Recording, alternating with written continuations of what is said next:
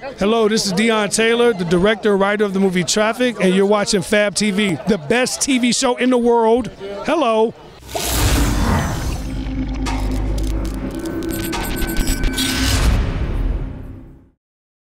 How was the hype in Chicago and Atlanta? I've been following you. It was crazy out there.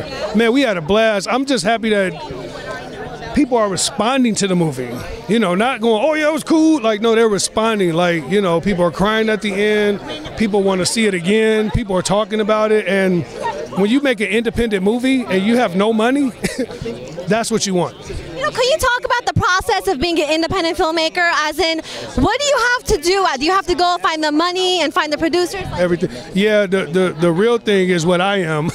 I am a real independent artist, meaning meaning I'm I am not given money by any studio, any fund. I'm, I'm we're out here basically getting our own money, uh, writing our own scripts, casting our own films, and making our own films, and and and.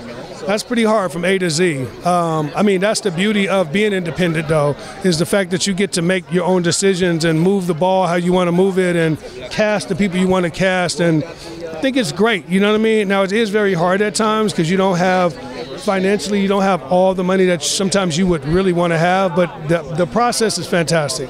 What other topics would you want to dabble with? Because this was so huge. What other things are you interested to tell a story about? Yeah, I'm gonna get into the Black Lives Matter next. Um, I'm gonna I'm gonna play around with a new movie. It's called 38, uh, where I examine a black police officer on the other side of the the blue line during you know the stuff that's going on in the streets.